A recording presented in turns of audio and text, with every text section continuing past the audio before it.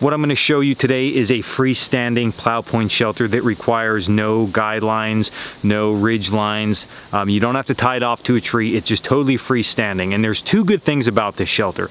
The first is that you can move this anywhere you want around camp. The second option to this is also it just gives more structure to your shelter itself. So if you're gonna let stuff up long term, or you're gonna set your tarp up in an area that you can and just let it up for a long time, there's a lot of stability in here. Rather than just having a single line holding one of those tie out points, we're actually using the tarp and all the material that the tarp has to offer as structural support. So let's look at how to actually set that up.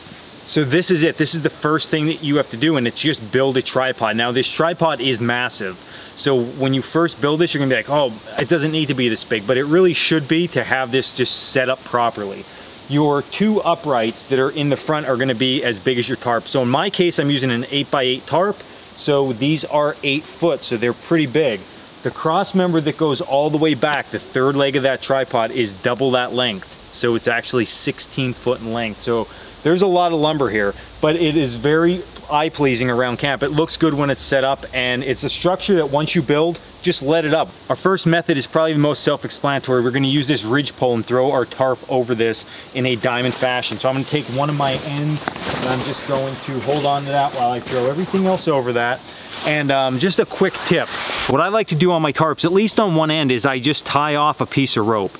And this is good because if you're tying out your tarp and you can't get it to reach the ground, say you're using this with a hammock setup, this is gonna let you reach, okay? Or in a setup like this, I have this rope on here, so I can go right through the middle of my setup, just like this, and pull that up tight. Now I can just tie this off on the top however I would like. Now we're gonna come to the back, and this is probably the most challenging for people, and not in a difficult way, but just to wrap your head around. Because this pole is so long, okay, we need to actually come off to one side. So you're actually gonna pull this at an angle and then stake that out at an angle. That's gonna give us one side of this tarp that's a little bit steeper and one that is not as steep. So now we're gonna stake down both sides and our tarp setup will be complete. Now our first structure is complete. So this is a setup that I very rarely use, but it is something to know for the simple fact that main ridge pole is offering a lot of support and all that fabric's laying across that. So in a lot of snow or a lot of rain, that is offering a lot more support to the tarp than just having it underneath, which we're gonna do next. So this is option number one. Now the second option is what myself and most of my instructors use the majority of time and that's setting the tarp up underneath the structure itself take our tarp with that rope that I've tied off and we're just going to put a knot in it. That way it creates a loop at the end of our tarp, just like that, and that loop can go over that pole. Bring this other end back really good and tight and stake that back section in. Now before we do anything else, I'm gonna come to my center tie out and tie this off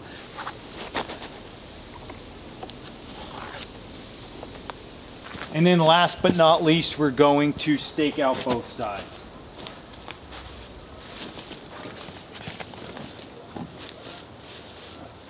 So now what we have configured is a really nice freestanding plow point shelter. You can see totally opened up in the front. So between myself and the fire pit, which the camera's actually placed in right now, there's nothing. There's no lines, there's no ropes. All you gotta deal with is these two uprights, but these two uprights actually play a really important role here because we can hang a lot of stuff off of these. And then we can also go ahead and lower this shelter just like this. And all that we need to do at this point then is pull our sides out or we can open this up more. Again, open up the sides, bring them in a little bit tighter, and it's gonna open up the front for a little bit more airflow.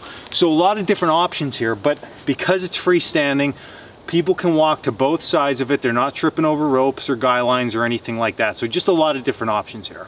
So what I want you to keep in mind with this setup is it's definitely more of a permanent camp type setup. It's something that you're gonna set up around camp and it's just gonna be there. So when you go into camp, you know what type of structure you're gonna set up. Aesthetically pleasing, when you come into camp, I mean, it looks good back there in the background just uh, hanging out back there. So it's really cool and it's easy to move around. It doesn't take a lot of work and anybody can set it up. Different things to think about, different options to do. So this was Dan Wowak, Coalcracker Bushcraft. At the end of the day, have as much fun as you can out here, do things that you love, set shelters up. If they don't work, don't use them. So um, try it out, see what you think, leave in the comments below. And as always, check us out at coalcrackerbushcraft.com and until the next video, stay in the woods.